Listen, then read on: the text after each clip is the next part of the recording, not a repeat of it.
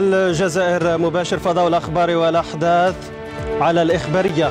وفي الحدث اليوم ارتفاع مقلق لعدد الإصابات بفيروس كورونا والمختصون يشددون على ضرورة التلقيح والالتزام بالإجراءات الوقائية.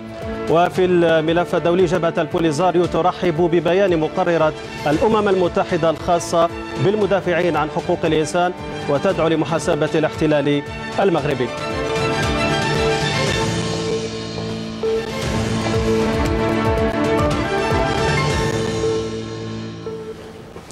مشاهدينا السلام عليكم ورحمة الله تعالى وبركاته. إذا في الحدث اليوم سنقف عند واقع الوضعية الوبائية لانتشار فيروس كورونا ومكافحته على المستوى الوطني حيث تسجل البلاد ارتفاعا ملحوظا في الفترة الأخيرة لحالات الإصابة بالفيروس في وقت تستمر فيه الحملة الوطنية للتلقيح. أسامة إذا دحمون زار الفضاء المفتوح لعملية التلقيح بساحة كيطاني بالعاصمة وعاد بهذا الروبورتاج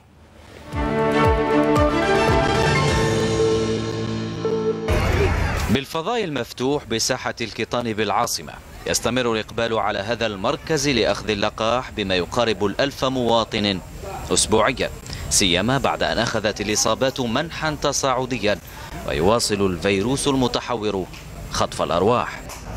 هاد اليامات الاخرين هادو اليومين الاخرين ثلاث أيام الاخرين زاد إقبال زاد زاد. وذلك راجع ل صدر ارتفاع عدد ولا حصيلة آه، الإصابات آه، بلا كوفيد. الناس دخل لهم هذاك آه، إحساس بإلزامية التلقيح اللي هو يعني الحل الوحيد باش باش نتخلصوا من هذا الأخر. ونجدد نجدد النداء يعني للمواطنين آه، ما يتهاونوش ما يتمسخروش. آه، عندنا فرصة هذه ما لازمش نعطيوها c'est parce que آه، بالتلقيح هذا الكثيف والمستمر واللي لازم يتندار في وقت محدد. sinon كي اللي ما درنا والو لازم نعطيو له وقت نكسروا هاد la chaîne de de de contamination باش نجمو نقولوا تحصلنا على نتيجة. فوضق كي سمعت هكذا زاد المرض وكامل جيت نديرها. ورانا في المرض أنا راهي على ال monde entier مش غير علينا هنا باقي لازم على الكبير وعلى الصغير. ماذا بينا يجوا كاع يديروا كاع. هذه حاجة مليحة.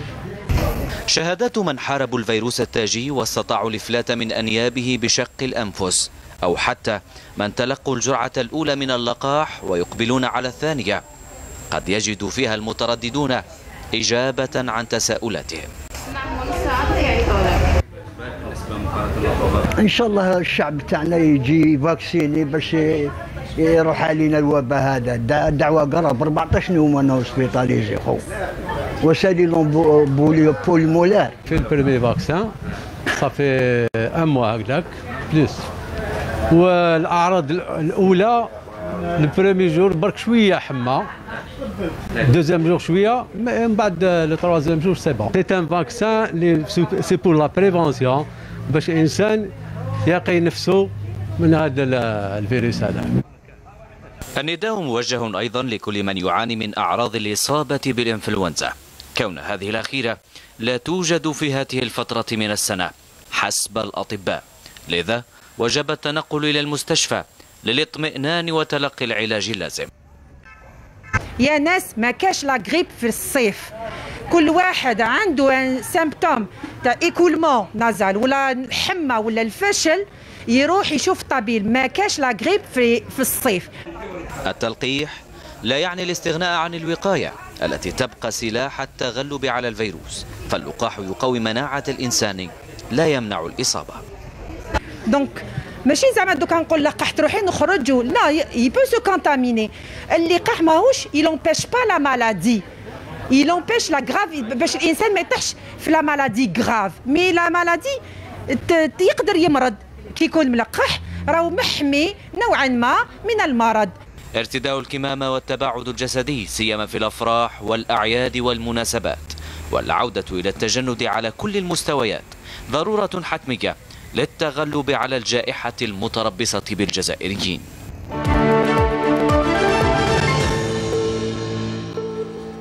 إذا مشاهدينا لمناقشة هذا الموضوع إذا نسعد باستضافة كل من الدكتور الحاج معطي خليل وهو ممثل عن وزارة الصحة. مساء الخير دكتور. مساء الخير سيدي شكرا. وكذلك الدكتور يوسفي محمد وهو رئيس الجمعية الجزائرية للأمراض المعدية. مساء الخير دكتور. مساء الخير شكرا على الدعوة. العفو معنا من محطة وهران الجهوية الدكتور بخاري إذا يوسف رئيس مصلحة الوقاية بمديرية الصحة والسكان لولاية وهران. مساء الخير كذلك دكتور. السلام عليكم شكرا على الاستضافة. طيب في البداية أبدأ معك دكتور يوسفي. من الحصيلة الأخيرة لفيروس كورونا بالجزائر تسجيل 481 إصابة جديدة و10 وفيات رحمهم الله. بناء على هذه الأرقام كيف تقيم الوضعية الوبائية في الجزائر؟ بسم الله الرحمن الرحيم والصلاة والسلام على المرسلين السلام عليكم ورحمة الله وبركاته. كيف نقيم هذه الوضعية؟ نتأسفوا كثير لأنه رانا أمام انفجار نتاع الحالات خاصة في الأسبوع الأخير. بالرغم من من كل التحذيرات اللي قلناها منذ أسابيع منذ شهور عن كل الأخصائيين والإعلاميين أه ذكرنا باحترام الإجراءات الوقائية ولكن للأسف هذا الشيء رانا نشوف غير وارد غير موجود تماما ولا ولا رقابة من طرف السلطات العمومية من هذه الإجراءات الوقائية. ولا إحنا هذاك الوقت رانا رانا نخلصوا. ندفعوا الثمن كضحايا اللي رانا نشوفهم الاصابات اليومية والضحايا اللي رانا نشوفهم في المصالح تاعنا وأيضا إصابات وتعب كبير بالنسبة لمهني الصحة. ورانا نشوفوا الأرقام والأرقام لازم الإنسان الأرقام هذه خاصة الناس اللي راهم يجونا في حالات مستعصية من المستشفى. ولكن كان أرقام أخرى وأنا قلتها عده مرات اللي ما لاحقة لوزارة الصحة وخاصة التحاليل اللي يقوموا بها الزملاء في القطاع الخاص قضية الأرضية الرقمية اللي فيها مشكل. المهم المهم الشيء رانا نشوف مقلق وخطير اللي رانا نشوفوه يوميا وحتى الوفيات يوميا آه رانا نشوف آه على سبيل المثال اليوم برك إحنا في مستشفى بوفاريك آه ضحيتين ومنهم ضحية 48 سنة. هذا الشيء شيء شيء شيء نتألموا ليه كثير ومؤثر كثير. والسبب تاعو هو عدم احترام هذه الإجراءات الوقائية. طيب هو سنأتي الحديث أكيد عن عن الأسباب. وأسأل دكتور الحاج معطي أنت ممثل لوزارة الصحة والسكان. كانت هناك عملية أو عمليات جوارية لإنطلاق عمليات التلقيح على المستوى الوطني وتبعنا العينة من العاصمة بساحة كيطاني وكانت كذلك هناك حافلات طبية على شكل قوافل، كيف تتم هذه العملية؟ شكرا سيدي على كل حال بسم الله والصلاة والسلام على رسول الله، كل حال شكرا على الاستضافة هذه فرصة طيبة أتيحت لنا اليوم إن شاء الله. حقيقة كما تفضل السيد الدكتور يوسفي يتكلم على الحالة الوبائية. إحنا كي الحالة الوبائية كنقيموها على كل حال عندها شهرين ولا ثلاث أشهر كان استقرار نوعا ما تاع الحالة الوبائية وين كان تقريبا 200 حالة يوميا. ولكن لاحظنا في الأسابيع والايام القليلة اللي فاتت هذه وين كان ارتفاع محسوس تاع عدد حالات الإصابات وين معدل الإصابات راهو تقريبا 400 حالة يوميا. حقيقة هذا الارتفاع هذايا إحنا آه الشيء اللي راهو واقع الآن وين شفنا باللي هذا الارتفاع خطير وارتفاع اللي يقتضي يشكل تانيك مشكل من هذا الباب حبيت برك نصحح معلومة من باب التشخيص من باب التشخيص في في الخاص حاليا. إحنا كي بدينا في التشخيص في الأيام الأولى تاع الوباء تاع الجائحة تاع الكورونا كان عندنا مخبر واحد اللي كان هو المعهد باستور في تشخيص تاع الكوفيد. ولكن الآن رانا تقريبا 100 مركز ولا مخبر لتشخيص تاع ال PCR وهما على كل حال معظمهم في الخواص من الخواص وهما تانيك عندهم mécanisme وين يقوموا ب la déclaration تاع les cas les PCR positifs في في في في في, في الوزارة. وهذا يوميا. وهذا كامل المخابر راح تمد لنا الإحصائيات وعدد الإصابات. حقيقة إحنا كي نتكلموا الآن على الجائحة هذه وهذه ماشي خصوصية على الجزائر والعالم كامل راهم قاس بهذه الظاهرة هذه.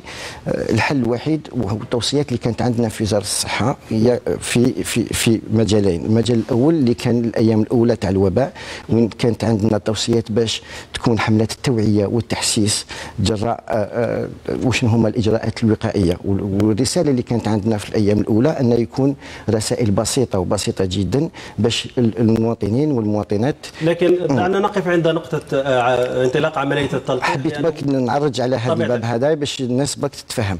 من باب التلقيح لماذا التلقيح؟ أهمية التلقيح.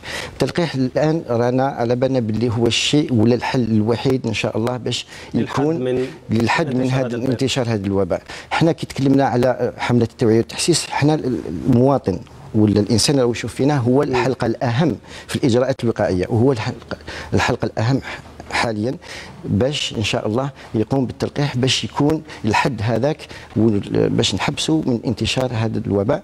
ولأنه صارت ظاهرات وحنا نتكلموا عليها على كل حال إن شاء الله تكون عندنا الفرصة من باب الإشاعات ومن باب نعم. شيء من هذا القبيل. وإن كان الناس الأيام الأولى ما كانش إقبال كبير من طرف المواطنين للتطعيم والتلقيح. طيب آه، نشرك كذلك في هذا النقاش آه، معنا عبر الهاتف الدكتور آه، رياض مهياوي عضو اللجنة العلمية لمتابعة تفشي فيروس كورونا. مساء الخير دكتور. وأسألك مباشرة عن تقييمك للوضعية الوبائية وهذا الارتفاع المحسوس في عدد الإصابات وحتى الوفيات.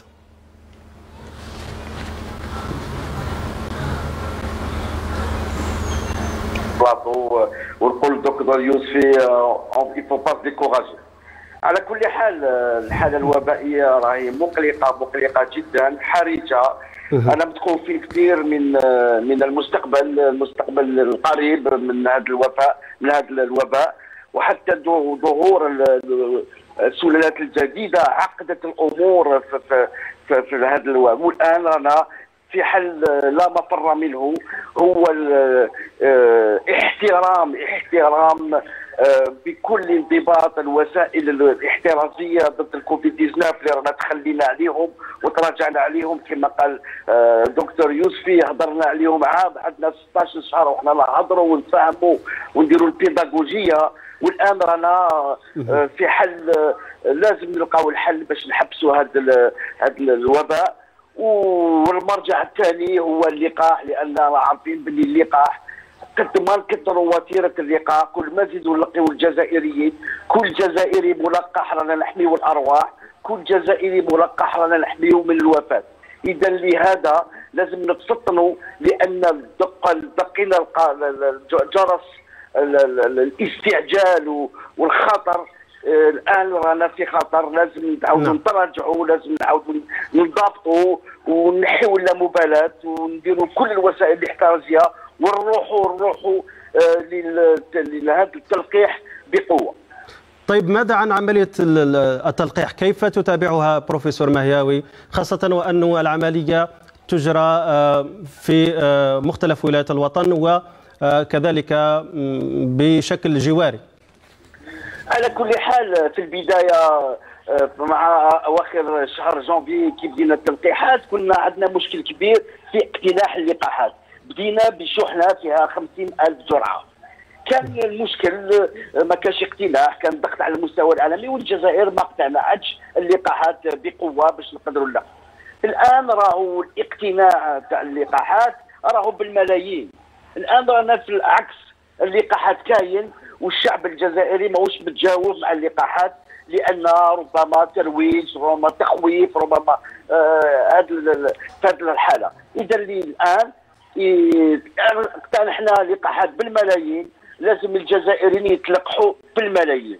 وكل الوسائل اللي تعملت اللقاح خرج من المستشفى راهو في في مصالح آه، في الخارج المستشفى. رانا في الجزائر عندنا عندنا 71 نقطة التلقيح. حتى في الساعات العمومية التلقيح راهو بدون أخذ بدون تسجيل في آه، المحطة الرقمانية. اذا كل شيء سهل. الجزائري يروح بالبطاقة الوهوية نتاعو يلقح آه هذه العملية تقيم 10 دقائق ما عندهاش خطر كبير ما عندهاش ديفيكولتي كبيرة يتلقح يروح لدارو هكذا إن شاء الله نروحوا لواحد نعم. الأمانة الشاملة في الشعب الجزائري. طيب تفضل بالبقاء معنا بروفيسور مهياوي. نتحول إلى محطة وهران الجوية. ومعنا من هناك الدكتور بخاري يوسف رئيس مصلحة الوقاية بمديرية الصحة والسكان. بالولاية مساء الخير دكتور وأسألك في البداية عن الوضعية الوبائية بولاية وهران. ما هي الأرقام التي يمكن أن تقدمها من هناك؟ بسم الله الرحمن الرحيم. السلام عليكم. فيما يخص ولاية وهران راهي كباقي الولايات الكبرى للجزائر راهي حاجة مخيفة مخيفة جدا. لأن رانا نتجاوز يوميا أكثر من 45 حالة عن طريق ال PCR المستشفى الخاص للكوفيد يعني لحد الساعة يعني راه ممتلئ إلى إلى أقصى حده. راه عندنا يعني ال plan B تاع وين نديروا مؤسسة استشفائية جديدة لأخذ يعني المرضى الكوفيد المصابين بالكوفيد. هذه هي والوفيات رانا نسجل كل يوم وفاة أو وفاتين يعني وفاتين يعني في اليوم والحالة راهي مقلقة. وخاصة أن هذا الكوفيد راه يصيب يعني الأشخاص يعني دي زاديلت جون يعني ابتداء من 45 سنة إلى غاية 55 إلى 60 سنة. هذه اللي تخوفنا وال يعني وال والناس اللي يدخلوا العناية المركزة يعني راهي بكثرة. فلهذا يعني رانا متخوفين خاصة أن ولاية وهران تعتبر ولايه ولاية سياحية بامتياز وراهي يعني تستقطب يعني كل المصطافين يعني اللي يزوروا ولاية وهران. غير إلى غاية اليوم يعني سجلنا 18 حالة يعني تاع كوفيد 19 اللي جاي من خارج ولاية وهران. اللي هذا يعني بدا يقلقنا شوية اللي رانا متخوفين من هذه الحالات هذه. طيب ماذا عن عملية التلقيح؟ كيف تجري في الولاية؟ الحمد لله إحنا في ولاية وهران يعني كاع الجرعات اللي وصلتنا لحد الآن يعني إلى غاية 20 جوان. تحصلنا على 46 ألف جرعة لقاح. اللي رانا يعني وصلنا 88% من هذا من هذا المخزون اللي قمنا بتلقيح المواطنين عندنا استجابة كبيرة. ولحد اليوم يعني واليوم كذلك تحصلنا على 39 ألف جرعة اللي وصلتنا في أخ في هذه الساعات الأخيرة. درنا يعني الشابيتو درنا يعني في الحي المدينة الجديدة الحي الشعبي العريق درنا ان كرون شابيتو وين يعني كان تجاوب كبير للمواطنين وكذلك ابتداء إن شاء الله من يوم الغد غادي نديروا يعني الدوزيام شابيتو غادي نديروا في مست... على الطرف الوهراني خاصة في دائرة عين الترك وين غادي تعرف يعني إقبال كبير للمصطافين وهنا غادي يعني نوجه نداء عن طريق التلفازة تاعنا. المواطنين خاصة اللي يجوا خارج من خارج الولاية وما ما تقدروش يتلقحوا في الولاية تاعهم مرحبا بهم يعني في خاصة في الخيمة الكبيرة اللي غادي نديروها في عين الترك. مرحبا بهم كذلك. وعندنا يعني 54 نقطة يعني عيادة لتلقيح المواطنين. آه وصلنا يعني قضينا يعني كل الناس اللي كانوا مسجلين في ال في ال في ال في ال البطاقة الرقمية تاع اللي دارتها وزارة الصحة. رانا دروك نجو يعني أي إنسان يجي العياده المتعدده الخدمات يقدم يجب غير بطاقة الهوية تاعه ونقوم بالتلقيح تاعه يعني في نفس اليوم بدون موعد. هذا يعني العملية التلقيح راهي يعني الحمد لله في وهران ما رأش عندنا إشكال في دكتور. نعم. ابقى معنا سنعود إليك بعد قليل وهنا أسأل دكتور الحاج معطي عن توفير توفير اللقاحات وهل هي متوفرة على المستوى الوطني؟ شكرا. على كل حال كما تفضل الدكتور مختاري وبروفيسور محيوي. حقيقة كان ضغط كبير الأيام الأولى كي بدأت حملة التلقيح وهذا الضغط هذا على اقتناء اللقاح وهذا الضغط ماهيش خصوصية للجزائر ولكن ضغط عالمي على اقتناء اللقاح.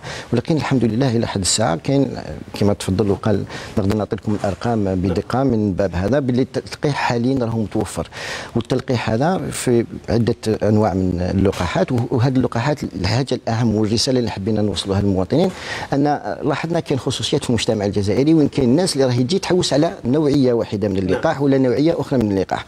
من هذا الباب هذا إحنا لازم الناس تفهم باللي جميع اللقاحات هذه هي لقاحات آمنة ولقاحات اللي جازت عبر ميكانيزمات تاع مراقبة من طرف خبراء. والخبراء هذه مانيش نقولها من الباب ولا راني حاضر هنا حقيقة ماشي حاجة اللي الإنسان ياخذها من باب السهله ولا التفصيل في هذه النقطة لكن نقدر من, من, من جهة الكمية الكمية نقدر نعطيكم العدد بدقة على كل حال. إلى حد البارحة يعني له البارحة الخامسة جويلية.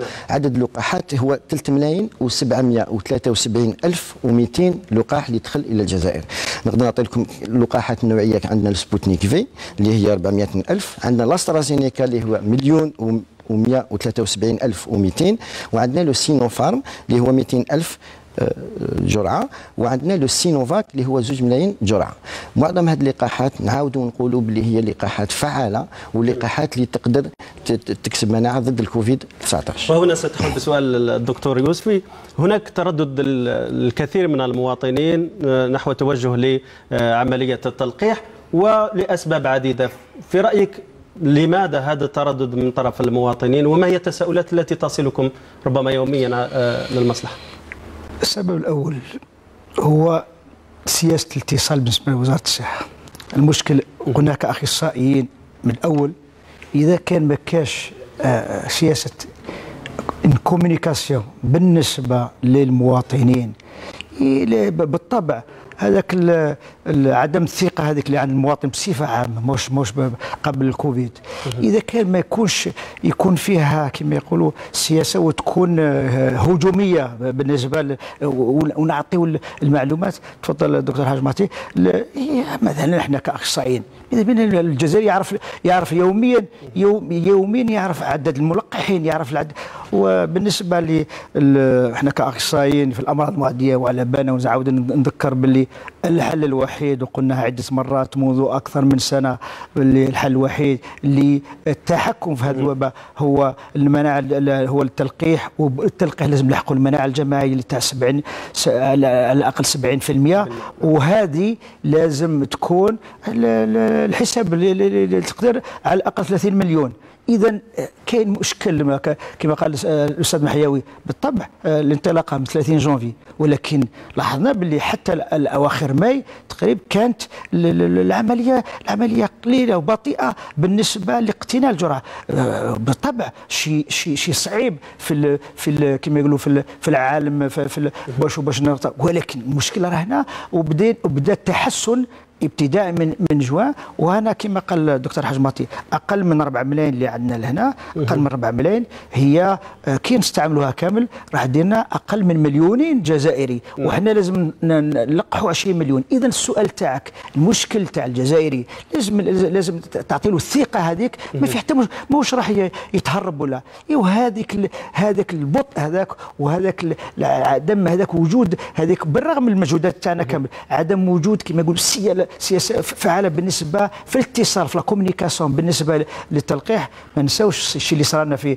آه، القضية تاع وباء تاع بوحمرون اللي عنده آه، سنوات المشكل اللي صار لنا كيما كيما كيما كيما يقولوا من ما نحتلوش المكان بالنسبة للاتصال رايح نعم. نخليو les fake news وراح نعم. نخليو الأمور هذه ولذلك ضروري ضروري كاين كاين كما يقولوا شرطين. الشرط الأول هو لازم تكون هذه السياسة تاع الاتصال والشرط الثاني هو اقتناء عدد أكبر كاف من, من اللقاحات. من اللقاحات. وهذاك الوقت وباش هذاك نواكب طيب. إحنا إحنا رانا في, في, في الميدان. الشيء اللي راح يخرجنا من هذاك الشيء هو التلقيح الجماعي. نعم هو سنعود كذلك أيضا الحديث بالتفصيل في هذا في هذه النقطة. لكن آه، معنا آه، من ولاية تسطيف آه، الدكتور عبد الحكيم دهان مدير الصحة بهذه الولاية. مساء الخير دكتور ونسألك دائما عن الوضعية الوبائية بهذه الولاية.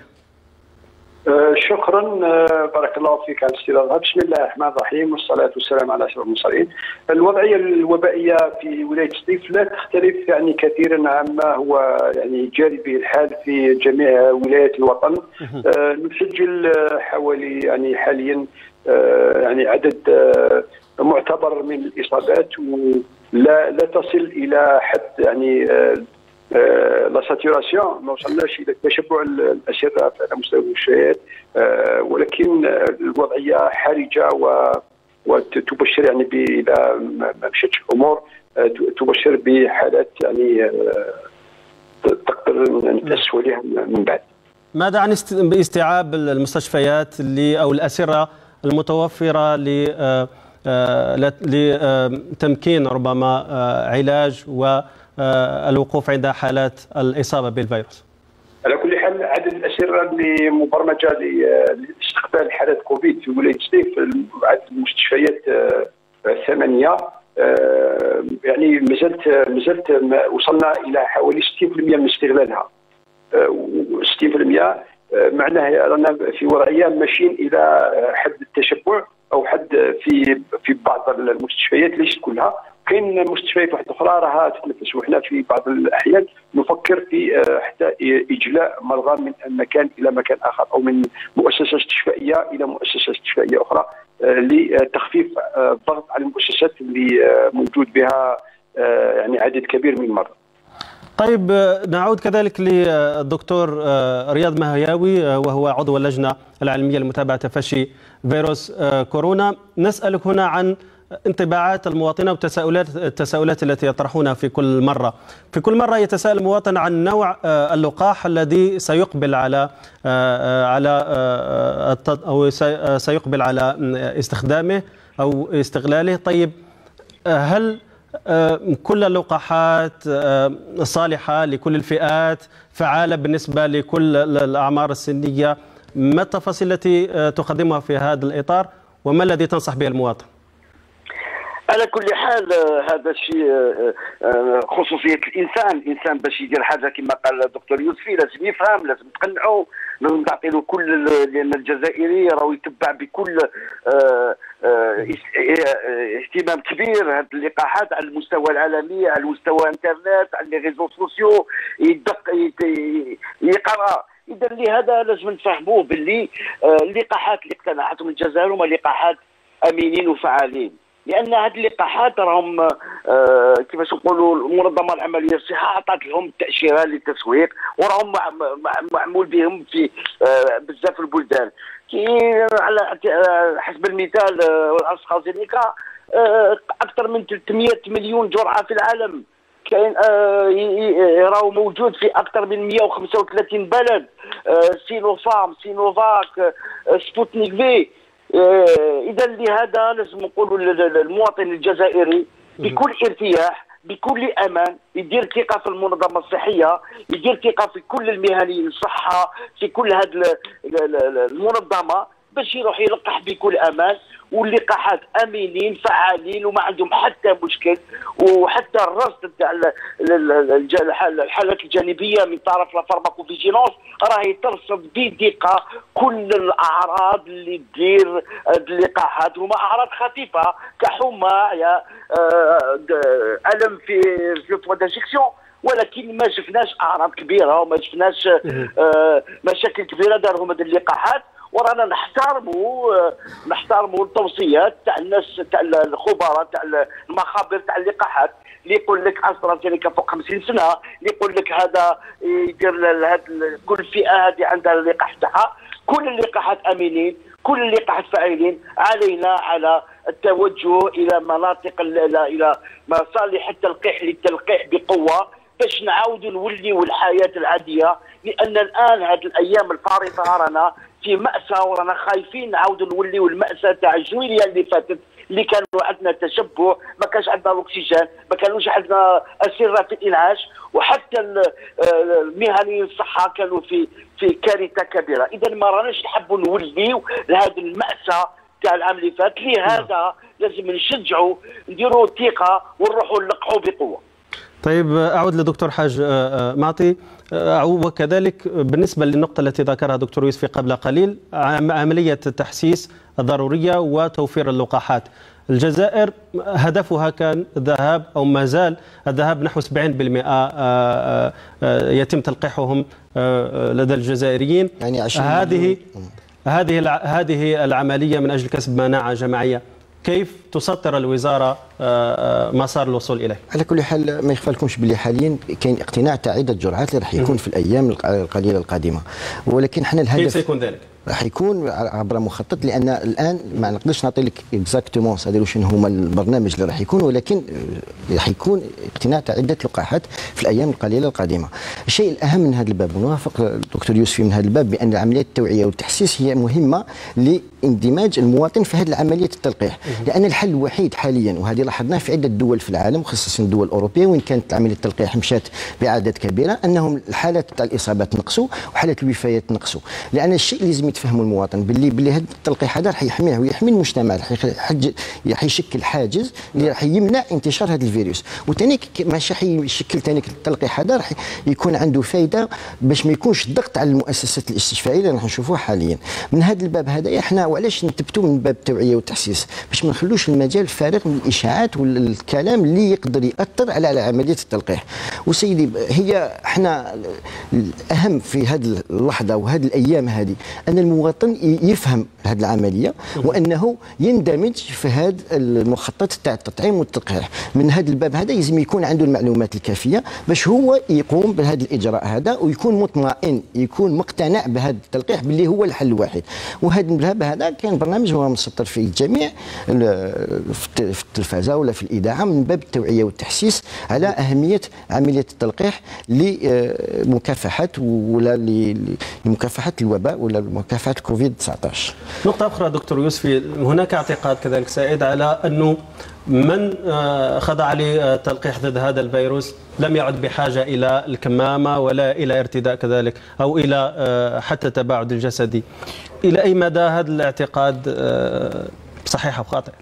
قبل ما نجاوبك على شيء اسمح لي نعاود نرجع في اللقاحات وكما قال الأستاذ المحياوي إحنا لازم نقولوا المواطن الجزائري بكل بأن كل اللقاحات فعالة.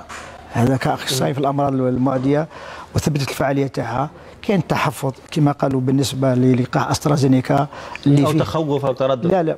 تحفظ تحفظ علمي هذا مش هذا في عدة بلدان. لا, لا تحفظ علمي بالنسبة لبعض كما الأعراض الثانوية كما هذه لا سيريبرال. الناس اللي أقل من 50 سنة وخاصة النساء. لذلك اللجنة العلمية أكدت على استعمال هذا عند الناس لأكثر من 50 سنة. هذا هو التحفظ الوحيد بالنسبة لأسترازينيكا اللي برهن على فعاليته في كل بلدان تاع العالم. وخاصة في بريطانيا. بريطانيا وفي كندا وفي عدة بلدان أخرى. اللقاحات الأخرى ما فيها حتى مشكل آه، كلها فعالة آه، أكثر من 70 80% وأكثر من 90% هذا مشكل. الآن لازم لازم لازم نرجع الثقة للمواطن باش يروح باش يلقح. وموازاة نربط الموازاه هذا الاحترام تاع لجنة الوقاية ونقولوا للمواطن بأنه هذاك اللقاح يحميه ولكن لحد الآن دراسات لحد الآن العلمية اللي ثبتت لحد الآن أنه لحد الآن ما ثبتناش باللي هذاك اللقاح رايح كما يقولوا يكسر كما يقولوا سلسلة الانتشار نتاع الفيروس لحد الآن. اذا يحميه وينقص ولكن باش ما يعديش هذا الشيء لازم يكون عندنا آه كما يقولوا نسبة مئوية بالنسبة للمناعة. ولذلك لحد الآن الأغلبية تاع البلدان اللي متقدمة في اللقاحات مازال آه كما يقولوا تطلب من المواطنين تاعها باش يبقاو بالقناع حتى يلحقوا يلحقوا لعدد معين ولا باش المناعة الجمعيه قد ما نزيدوا هذاك الوقت كما راح نحيو القناع هذاك وبلدان قليلة اللي لحقت لهذاك الشيء وكان حتى بلدان اللي لحقت هذاك الشيء. وبسبب ناخذ بريطانيا بسبب السلالات المتحورة. نعم. رانا نشوفوا باللي فيه ارتفاع جديد. ولكن باش نطمنوا المواطن بفعالية اللقاح.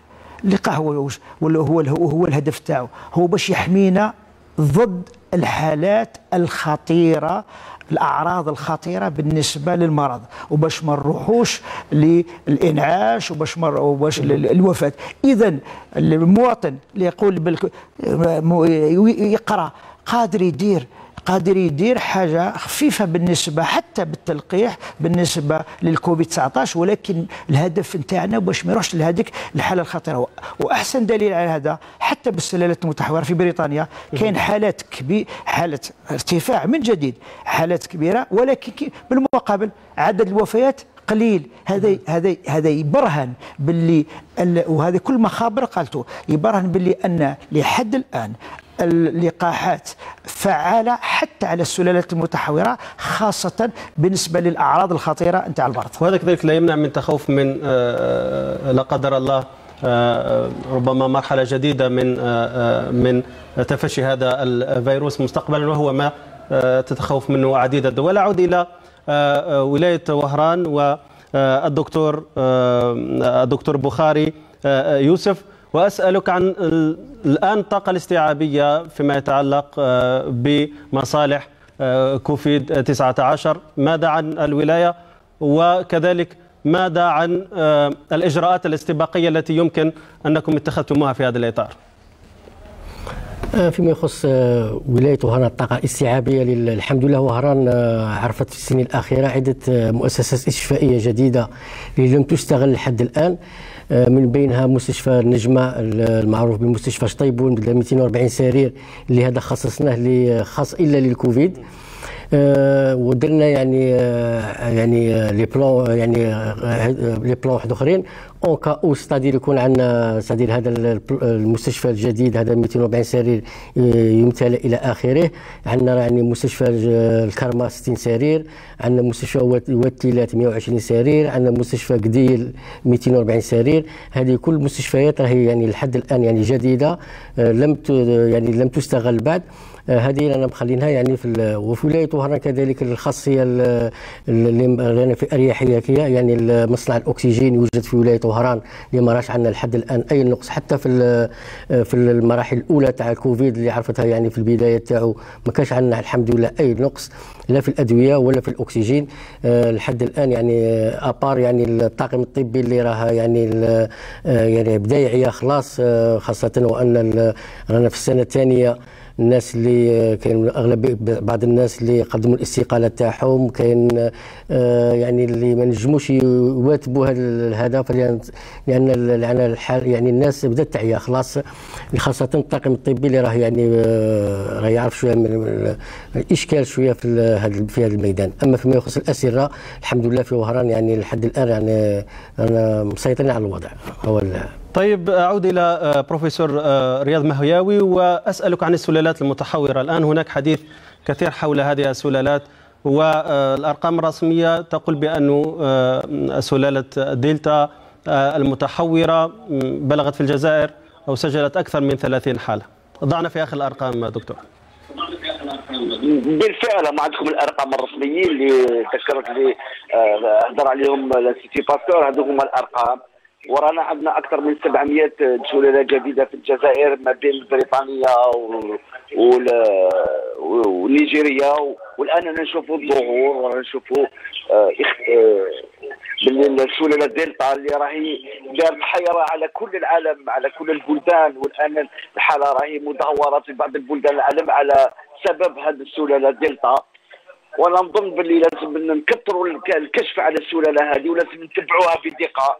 ونزيدوا الطاقات تاع le séquençage لأن عارفين باللي l'Institut Pasteur هو الوحيد اللي راهو يدير séquençage لازم نكثروا لازم نوفروا الإمكانيات باش نديروا séquençage باش نقدروا نتبعوا هذه السلالات الجديدة هي اللي راهي تدير الخطر وهي اللي راهي تعقد الأمور. طيب دكتور رياض بروفيسور رياض مهياوي نتحدث آه، أيضا آه، بخصوص هذه السلالات آه، المتحورة. هل انتشارها مخيف في الجزائر؟ كيف تشخصون تطور أو انتشار هذه السلالات في الجزائر؟ نعم نعم على غرار كل البلدان العالم اللي عندها قوة تاع المنظمات الصحية تاعها وقوة تاع المخابر تاعها وقوة كبيرة في تصنيع اللقاحات. راهم في حيرة كبيرة. إذا إحنا في الجزائر رانا عندنا آه رانا متأخرين على أوروبا بشهرين حوالي شهرين. اذا كل ما يصرى حدث في أوروبا شهرين من بعد يلحق للجزائر ونشوفوا نعيشوا في الجزائر. لهذا رانا متخوفين كثير ورانا وراهي الرص راهو الرص بدقه وراهو كيفاش نقولوا التحريات الوبائيه تدار بدقه باش لتحويط على كل الحالات اللي فيها السلاله الجديدة لكي تحجر لهذا نعم. هذا بكل صراحة شكرا بروفيسور سأعود إليك. على كل لاستكمال آه، بقية النقاش. مشاهدينا فاصل ثم نواصل هذا النقاش.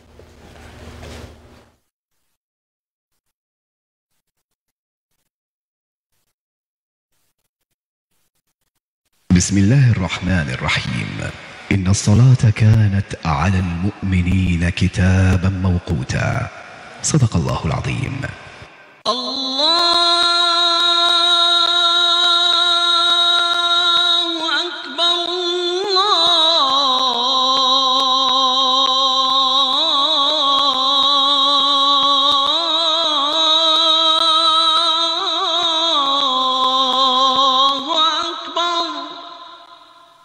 أشهد أن لا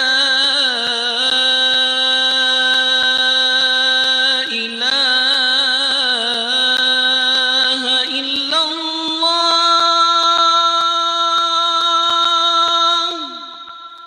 أشهد أن لا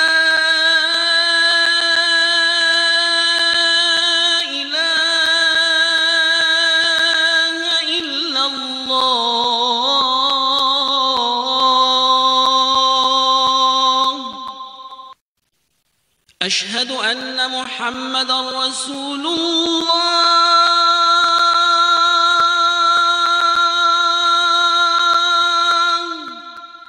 أشهد أن محمد رسول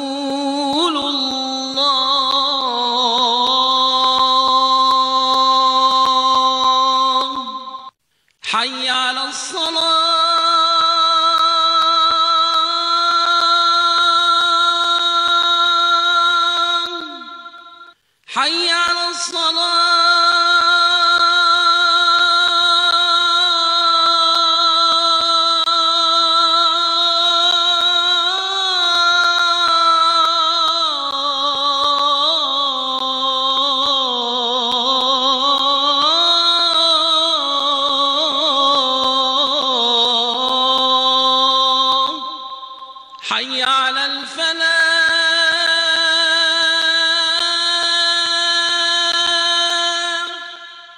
حي على الفلاح.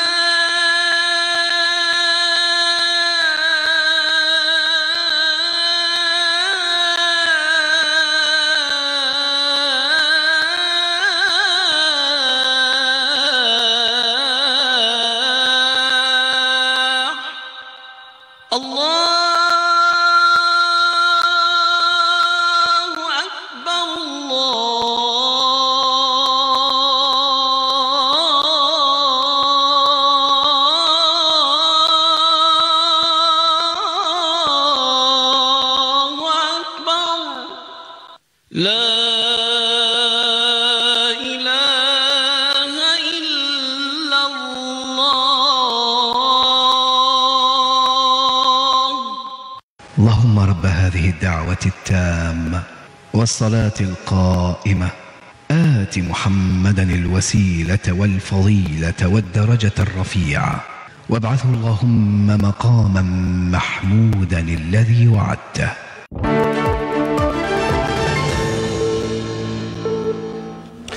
إذا أهلا بكم مشاهدينا من جديد. ربما نعود إلى بروفيسور رياض مهياوي لاستكمال الفكرة ولسؤالك حول ما هي الإجراءات المتوقع اتخاذها في المستقبل القريب من أجل الحد من انتشار فيروس كورونا؟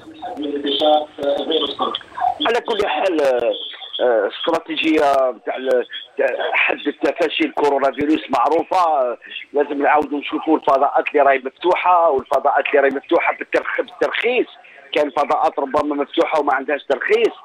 نشوفوا كل القطاعات لأن القطاعات كلها معنية آه، le transport آه، آه، السياحة ال commerce آه، كل كلهم معنيين بالأمر. كل كل قطاع لازم يطبق الحالات الوقائية في, في, في, في القطاع ديالو ويحرص على تطبيقها.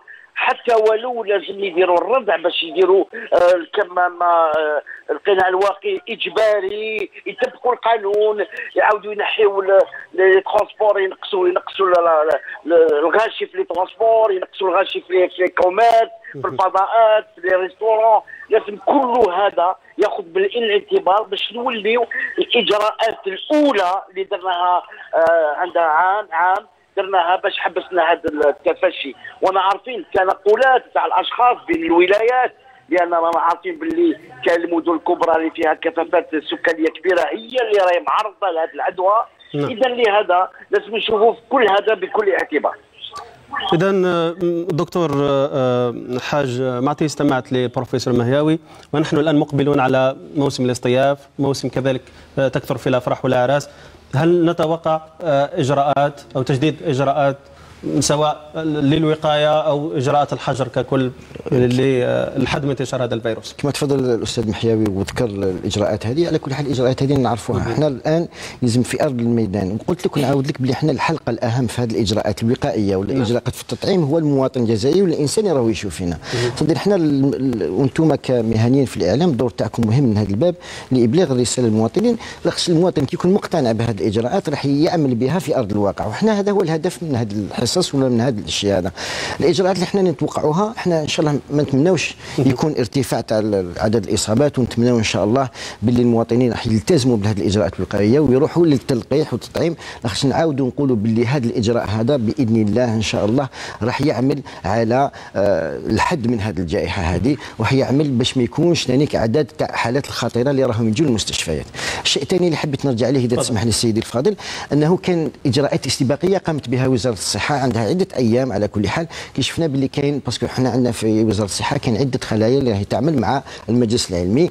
كان خلية اللي راهي تتبع الأسرة والاسره في المستشفيات. كان خلية تاع متابعة الحالة الوبائية والإعلام الصحي. وكان خلية تاع ال- الصيدلانية يعني اتخذتوا إجراءات استباقية في هذه كانت إجراءات وين كان رئيس المجلس العلمي عندها أكثر من 10 أيام وين دار اجتماع طارئ للاجتماع هذا باش تكون فيه إجراءات صارمة بحضور آه، عدة مدراء تاع المؤسسات الاستف- الاستشفائيه وهذه الاجراءات هذو اللي كانوا لازم الإنسان راح ياخذهم باش إن شاء الله يكون التكفل في أحسن الظروف ممكنة بالمرضى الكوفيد 19 هذه كانت عندها أكثر من 10 أيام ونقدر نقول لكم بلي غدوة إن شاء الله راح يكون لقاء تقييمي على مدى تطبيق هذه الإجراءات. الإجراءات من عدد الأسرة في المستشفى المؤسسات الاستشفائية.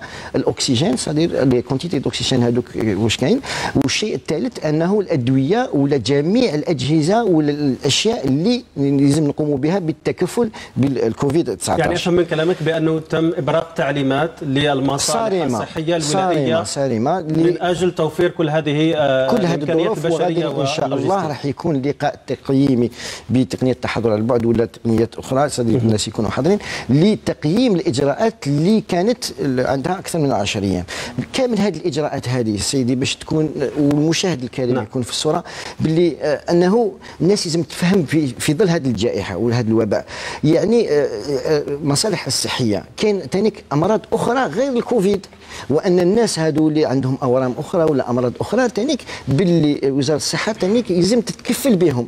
لهذا الإجراء هذا صعيب وصعيب جدا أنه الانسان ي- يكون ما بين الناس اللي راح تقبل على المصالح الاستشفائية لأمراض خاطره الكوفيد ولا الناس اللي في في الكوفيد. لهذا الشيء آه، وزارة الصحة راهي تتأقلم مع المعطيات الوبائية اليومية باش ترفع عدد الأسرة وباش تانيك ترفع الإمكانيات باش الناس كي يجوا ويقبلوا آه، إلى آه، المصالح الاستشفائية يكون عندهم التكفل اللازم بالحالة الصحية تاعهم.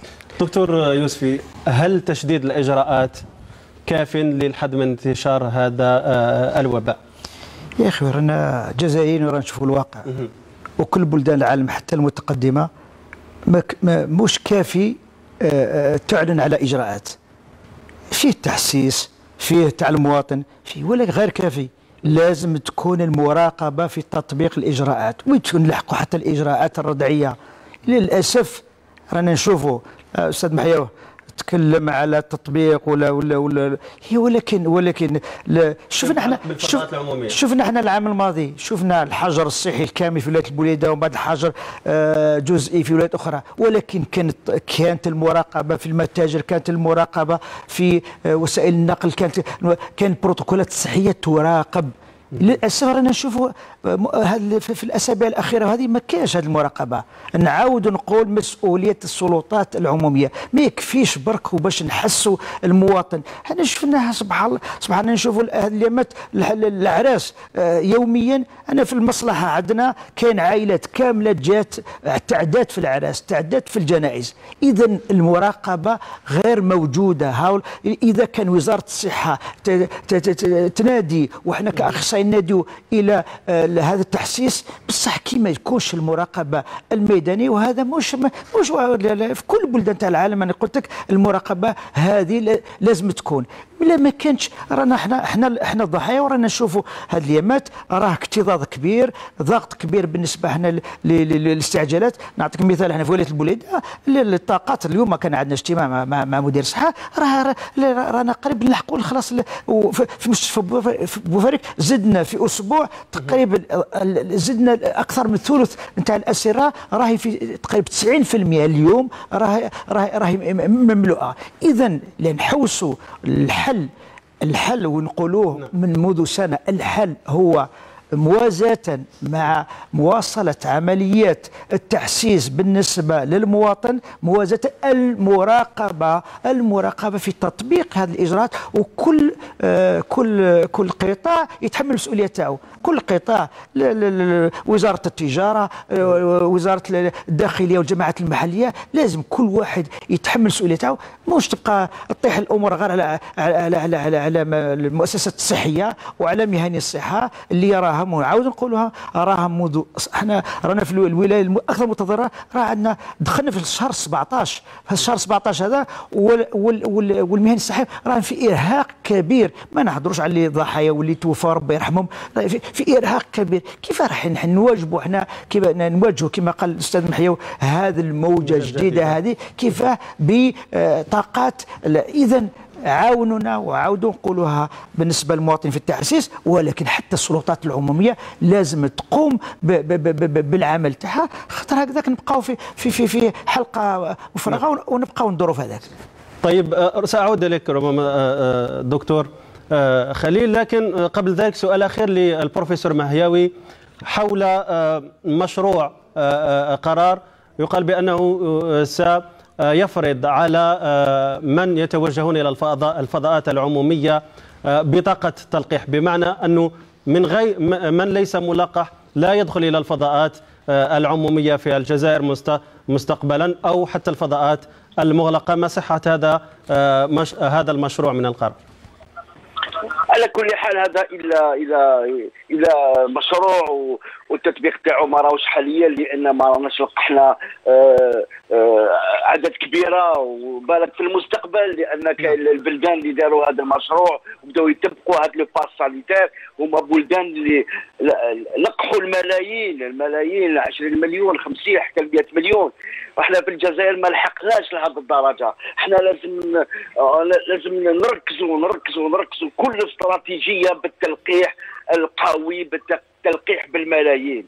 لهذا آه، كل المشاريع هذه إن شاء الله بعد آه، بعد أشهر ولا السنة الم- الماضية بالك يكونوا عندنا آه، مشاريع اللي باش نحفزوا المواطن باش يروح يلقح. نقولوا له ربما نقولوا له باش تدخل الملعب لازم تكون ملقح. باش تروح للريستورون لازم تكون ملقح. ولكن الآن ما نقدروش نفرضوا هذه الفكرة لأن ما زلنا ما لقحناش عدد كبير نعم. كما قال الدكتور يوسفي.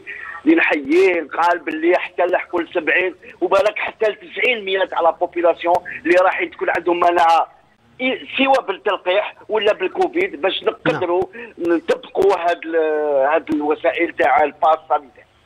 شكرا جزيلا لك البروفيسور رياض مهياوي عضو اللجنة آه، العلمية لمتابعة تفشي فيروس آه، كورونا على هذه المداخلة. وكل هذه التفاصيل. سؤال أخير إذا للدكتور آه، يوسف بخاري رئيس آه، بمديرية آه، الصحة بولاية وهران. أترك لك ربما رسالة إلى مواطني ولاية وهران والولايات المجا- المجاورة خاصة للتحسيس من أجل الذهاب أو التوجه أكثر آه، نحو آه، عملية التلقيح. آه، شكرا. من هذا المنبر آه، نبعث نداء إلى كل المواطنين وخاصة آه، مواطني ولاية وهران أو المواطنين اللي يزوروا ولاية وهران آه، بأنهم يقوموا بتلقيح أنفسهم. إلا ما قدروش يتلقحوا في الولاية تاعهم مرحبا بهم في ولاية وهران عندنا اللقاح متوفر آه، في كل العيادات متعدده الخدمات المتواجدة على تراب الولاية والعدد تاعها 54 وكذلك في الفضاءات اللي فتحناها يعني في آه، في دائرة في دائرة وهران أو في ساحة التحطاحه المعروفة بمدينه جديدة وكذلك بساحة عين الطرق ومستقبلا إن شاء الله في دائرة إرزي ودائرة بوتليليس. غادي نفتحوا فضاءات أخرى. آه، اللي ما قدرش يعني يتوصل ولا ما يكونش عنده الوقت باه يسجل نفسه ولا يجي يلقح نفسه راه يعني اللقاح متوفر في ولاية وهران ومرحبا بهم ونشكرك على هذه الاستضافة. نعم نتحول كذلك الآن إلى الدكتور آه، عبد الحكيم دهان مدير الصحة بولاية آه، سطيف. دكتور كلمة كذلك تحسيسية لمواطني الولاية. ولاية سطيف والمناطق المجاورة من أجل الذهاب أكثر نحو عملية آه، التلقيح. ولما لا آه، ذكر آه، النقاط التي يتم فيها توفير اللقاحات. شكرا. شكرا مرة أخرى. من هذا المنبر أنا أقول يعني ونحن يعني نحتفل بعيد الاستقلال. الجزائر تقدمت يعني بخطوات مهمة جدا في مجال التلقيح. والأدل على ذلك من القضاء على آه، مرض الكساح لا بوليوميليت هذا المرض اللي كان يفتك بالأطفال في الصغر وكنا نشوفوا ع- يعني الناس عندهم عاهات آه، طول اعمارهم بسبب آه، أنهم ما تلقاش اللقاح. ولكن اللقاح اللي آه، تعمل وعملته الجزائر يعني ثلاث سنوات أعطى نتيجة وقضينا على هذا المرض. بالنسبة وأصبح يعني لا يوجد عدد آه، ولو واحد آه، مريض بهذا. اذا اللقاح المزايا والإيجابيات تاعو مزايا لا يعني آه، ينكرها عاقل. ولذلك من هذا المنبر أدعو جميع ساكنة ولاية سيف والساكنة يعني المحيطة بولايتنا واللي هي ولاية كبيرة جدا من حيث عدد دوائرها وعدد بلدياتها 60 وعدد سكانها زوج ملايين و76 ألف. وعدد المحطات أو الأماكن اللي يتم فيها التلقيح وهي آه، 98 نقطه عبر ال- العيادات متعددة الخدمات وقاعات العلاج بالإضافة إلى لو شابيتو اللي حطيناه في أمام دار الثقافة هواري بومدين نقول لهم باللي اللقاح موجود والأطقم الطبية والشبكه الطبية موجودة من أجل التكفل بهم على أحسن ما يرام. وحتى يعني تزول هذا الوباء في أقرب وقت ممكن. نعم إذن دكتور آه، آه، عبد الحكيم دهان مدير الصحة بولاية سطيف شكرا جزيلا على تواصلك معنا وتقديم كذ- كذلك كل هذه آه، التفاصيل في سؤال أخير آه، الآن آه، دكتور حاج معطي خليل أنت ممثل وزارة وزارة الصحة آه، ربما كلمة أخيرة تتعلق بالاستمرار في آه، في هذا آه، عملية التلقيح وكذلك آه، مخطط آه، ربما الوقاية من هذا الفيروس. إن شاء الله. على كل حال آه، إحنا إن شاء الله إحنا الرسالة اللي نبلغوها للمواطنين إن شاء الله باش يقبلوا. على كل حال الآن تكلمنا على كامل على الفضاءات. معناتها كامل مراكز التلقيح. بكري كان واحد الوقت يلزم يسجل في منصة رقمية يستنى حتى يعيطوا له ولكن الآن يقدر يتقرب من أقرب مركز صحه جواريه يقدر يت- يتقرب من الفضاءات اللي راهي الآن في الساحات العمومية باش يكون عند باش يتلقى اللقاح تاعو. كان شيء آخر الناس اللي عندهم أسئلة الناس اللي عندهم انشغالات من هذا الباب يقدر يتصل بالرقم 30 30 وين كان طبيب التم يقدر يعطي لهم آه، اجابات على الانشغالات اللي تكون طيب عنده. ال- ال- التلقيح. يتم تسجيل دائما عبر الأرضية الرقمية أم أنه يتوجه الآن المصالح يت- يت- يتوجه إلى أقرب مركز صحة جوارية وين يكون فيه التطعيم مباشرة. مباشرة وكاين طبيب راح يشخص الحالة تاعو راح يدير يعطي له اللقاح المناسب تاعو ومن بعد كاين فترة وين يلزم يقعد التم باش يراقبوا إذا تكون مضاعفات آنية في الدقائق اللي تجيب بعد التلقيح ويخرج ويكون عنده الموعد تاع الجرعة الثانية ما كان حتى إشكال يعني الآن امام الفضاءات هذه الهدف تاعها هي تقريب اللقاح هذا من المواطنين باش ما يكونش هذاك الإشكال مام الناس اللي تكون عندهم أسئلة اللي حابين يعرفوا واش اللقاح اللي راح يديروا ولا عنده أسئلة أخرى ولا متخوف يقدر يتصل ولا يتقرب تانيك من مركز الصحة الجواري اللي يقدر يعطيو لهم الانشغالات تاعو. كاين شيء آخر اللي حبيت تانيك نقول بالدكتور يوسي؟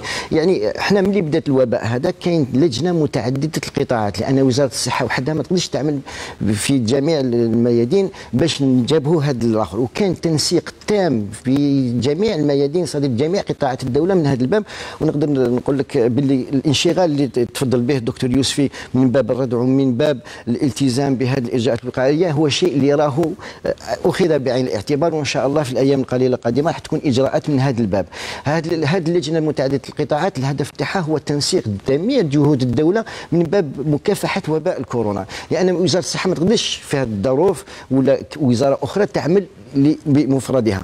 لأن تضافر جهود تاع جميع القطاعات. حنا نعاودوا ونرجعوا للتلقيح والتطعيم كاع الانشغالات تاع المواطنين من هذا الباب واللي شفنا باللي في الفترة الأولى ولا الأيام الأولى من اللي بدات في حملة التلقيح وين كان الناس y avait une réticence c'est-à-dire الناس ما كانتش مقبلة وكانت عدة إشاعات اللي كنا نشوفهم في منصات التواصل الاجتماعي. والشيء هذا ماهوش خصوصية ثاني نعاود نقولها تاع المجتمع الجزائري ولكن في العالم كامل صراو هذه الأشياء حنا. حنا دوك الهدف تاعنا وإن شاء الله ربي يقدرنا من هذا الباب باش تكون عدة حصص توعوية عدة حصص آه، باش ما نخلوش لو شون فيد كما قال الدكتور يوسفي يعني لازم نلحقوا المعلومة المواطن المواطن باش يكون عنده المعلومة الصحيحة وباش ما يتخوفش على هذا الإجراء هذا اللي راح يشكل حماية ليه وحماية للمجتمع تانيك من باب هدايا صديق المجتمع إحنا كي نقولوا هذا التطعيم والتلقيح ما فيهش خطر. ماناش إنسان راه إحنا إحنا تانيك عندنا أمهاتنا عندنا آباء تاعنا عندنا خاوتنا وإن شاء الله ربي. معطي دكتور يوسف أنتم رجال ال- الميدان وتقريبا كما ذكرت أكثر من 17 17 شهرا وأنتم تواصلون جهودكم في مكافحة هذا الفيروس. ما هي آه، ربما النصائح أو الرسالة التي تقدمها سواء للسلطات أو سواء للمواطنين؟ قبل ما تكون نصيحة إذا كان ممكن. تفضل. تع... باختصار، تع... دكتور بالنسبة اللي قال الحاج أنا ما- نكروش باللي كاين لجنة مدعاة لل- لل- لل- للقطاعات اللي. تعمل كل. إحنا نشوفوا الواقع.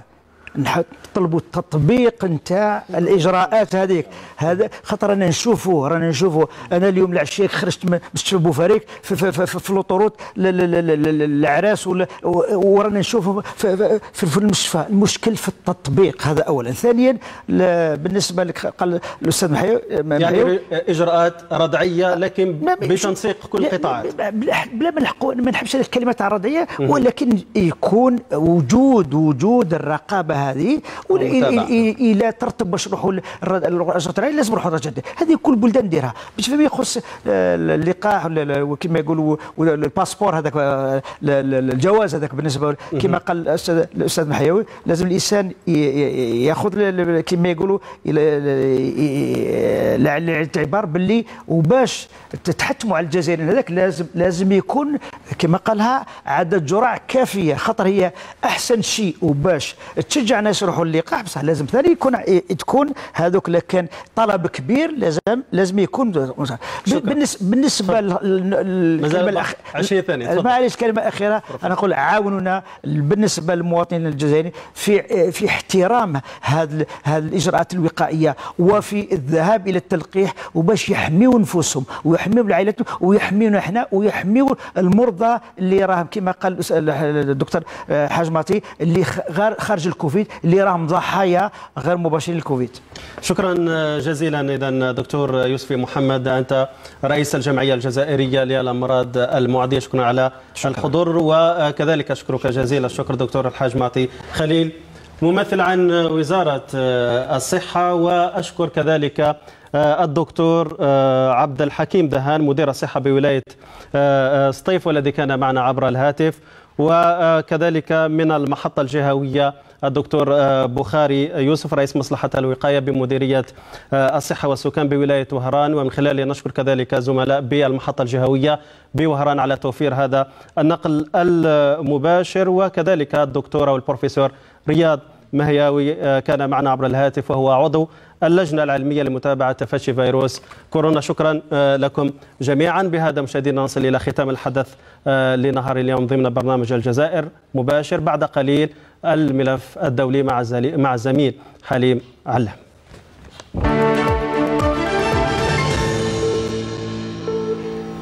شكرا بدر الدين. أهلا بكم إلى الفقرة الدولية والبداية من لبنان. إذ حذر رئيس حكومة تصريف الأعمال اللبنانية حسن دياب من أن بلاده باتت على حافة انفجار سيعصف بجميع مناحي الحياة. ونوح دياب إلى أن الأزمات الحالية ستدفع البلاد نحو الكارثة. يأتي ذلك في وقت تعيش لبنان أزمة اقتصادية وصفها البنك الدولي بالأسوأ في العالم. المزيد في تقرير عبد الله بوزاري. نفق مظلم دخله لبنان وطال المسير فيه. الأزمة الاقتصادية تصاعدت حدتها في البلد والتهبت أغلب الأسعار في الوقت الذي فقدت الليرة اللبنانية أكثر من 85 بالمئة من قيمتها. وضع أثقل كاهل الشعب اللبناني الذي لم يجد بدا من الشارع ملاذا له عله يسمع معاناته التي تفاقمت ووصلت الذروة. رئيس حكومة تصريف الأعمال أطلق صافرة الإنذار وحذر من كارثة حقيقية تحدق بالبلد. لبنان واللبنانيون على شفير الكارثة. أصبح ربط مساعدة لبنان بتشكيل الحكومة يشكل خطرا على حياة اللبنانيين وعلى الكيان اللبناني. لأن الضغوط التي تمارس والحصار المطبق على لبنان لا يؤثر على الفاسدين بل يدفع الشعب اللبناني وحده ثمنا باهظا يهدد حياته ومستقبله ثمن باهظ لا يتمنى اللبنانيون دفعه. ولو كان الوضع غير مريح أزمة اقتصادية دفعت قيادة الجيش اللبناني إلى تنظيم رحلات سياحية بطائرة الهليكوبتر التابعة للقوات الجوية اللبنانية بغرض إيجاد مداخيل جديدة. وهذا المشروع هو الخطوة الأولى للوصول لجيش منتج بالإضافة لتشجيع باقي القطاعات للإنتاج وبالتالي تخفيف العبء على الموازنة العامة بالبلد. وكان قائد الجيش اللبناني العماد جوزيف عون قد حذر من المساس بأمن البلاد مؤكدا أن الجيش سيقف بالمرصاد أمام أي جهة تهدد استقرار بلاده.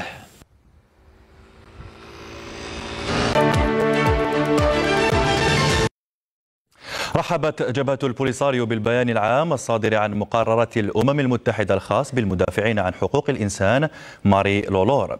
البيان دعا المغرب لوقف استهداف المدافعين عن حقوق الإنسان في الصحراء الغربية. كما دعت جبهة البوليساريو المجتمع الدولي لرفض الانتهاكات الخطيرة لحقوق الإنسان والقانون الدولي من طرف المغرب ووضع حد للإفلات من العقاب. وحول هذا الموضوع ينضم إلينا عبر الهاتف الناشط الحقوقي الصحراوي علي سالم التامك. أهلا بك سيدي. إذا لو نبدأ من حيث أنهينا الإفلات من العقاب إلى متى يفلت المغرب؟ من العقاب على جرائمه ضد الصحراويين؟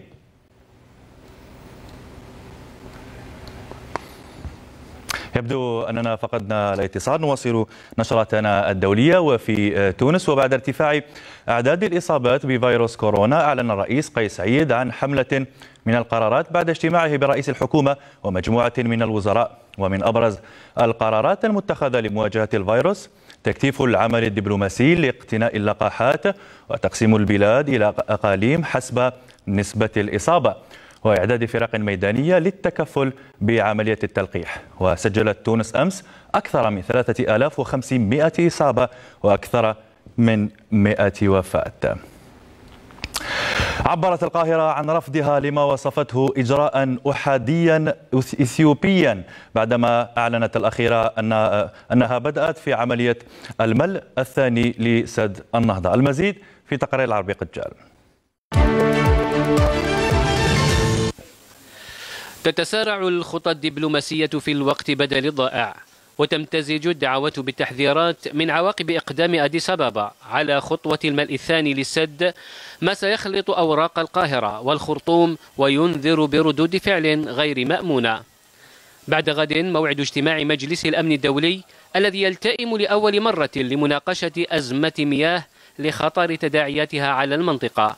وذلك بطلب من السودان الذي طالبه بحث جميع الأطراف على الالتزام بتعهداتها بموجب القانون الدولي وبالامتناع عن اتخاذ أي إجراءات أحادية دون التوصل إلى فصل نهائي للمأزق الذي يراوح مكانه بعد تعثر المفاوضات وعجز الوساطات على اختلافها والاختلاف حولها عن تقريب وجهات النظر. لقاءات ثنائية ماراثونية تخوضها الخارجيتان المصرية والسودانية وشروح فنية تعرضها وزارتا الموارد المائية للبلدين في خطين متوازيين للتأثير في المندوبين الدائمين للدول الأعضاء وعلى رأسهم الدول دائمة العضوية والدول الإفريقية في المجلس. مصر تقول إن إثيوبيا ليس لديها الإرادة السياسية للوصول لأي اتفاق ما يظهر حسبها في تهربها من أي التزام عليها تجاه دول المصب. أما السودان فتدعو إلى تغيير منهجية التفاوض بعد فشل المساعي السابقة تحت رعاية الاتحاد الإفريقي وتعزيزه بالرباعية الدولية. ليطالب البرلمان العربي مجلس الأمن الدولي باتخاذ موقف ملزم يضع قواعد منصفة لملء السد وتشغيله خلال جلسته القريبة. وإن كان إرضاء جميع الأطراف أقرب إلى الاستحالة حسب متتبعين بالنظر إلى المعطيات السياسية والاقتصادية المتباينة لدى كل طرف. إذا مشاهدينا نكتفي بهذا القدر. عودة مرة أخرى إلى بدر الدين. شكرا جزيلا لك حليم. بهذا مشاهدينا نأتي إلى ختام الجزائر مباشر لنهار اليوم. في أمان.